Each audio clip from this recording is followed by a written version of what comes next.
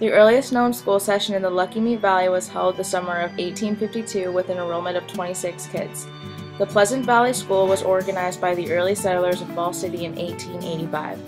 Pleasant Valley was located almost directly across from the now current high school.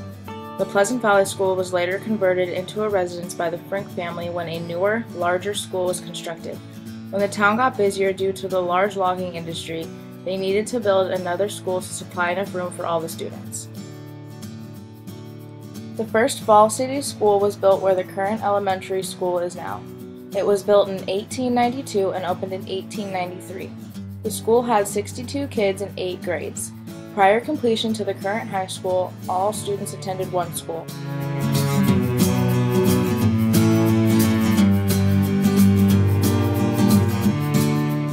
This school burned down in 1938.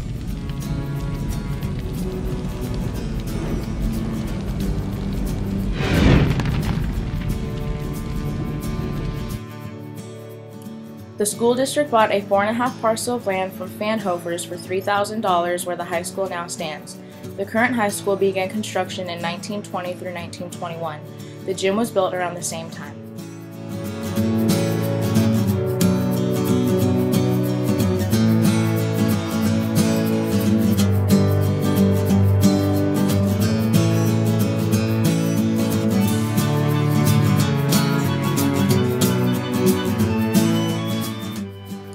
1941, they offered volleyball, basketball, baseball, and tennis.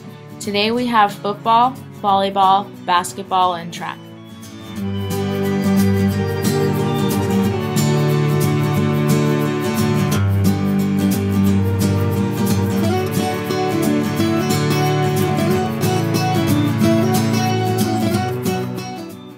In the past, the high school offered more classes and activities.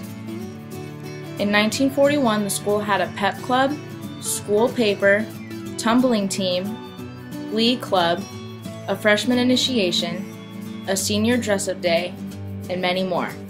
Clubs and activities have always been important to Falls City.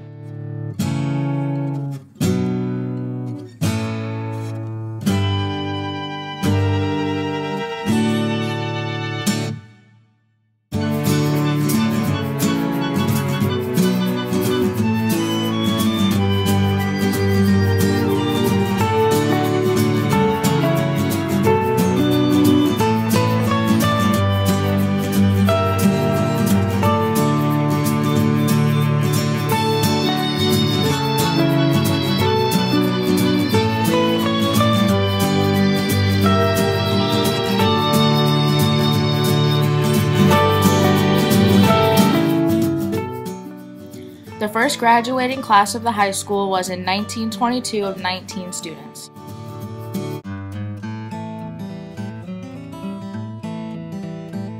Going to school here, I mean, you just you knew everybody. Um, you knew who was who and who was on whose whose good side and bad side, and you knew the little cliques. Um, it was nice because you you get individual attention here more than probably in a big school. Very, very good experience going to school in Falls City. Went from second grade on here, so all the kids that I went to school with were like family. Uh, different. It was a lot less structure. Uh, we had a couple teachers that really didn't seem to put the effort into it that they do now. Uh, Mr. Otellian was probably the biggest change. He really kind of set us straight. Classes were bigger. Uh, it was probably in grade school, our classes were all over 20 in single grades, no combined grades. And graduating classes were also bigger. I loved Falls City High School. I loved the smallness and I loved that we all knew each other. Although the school buildings have changed over the years, the importance of education in Falls City is still vital.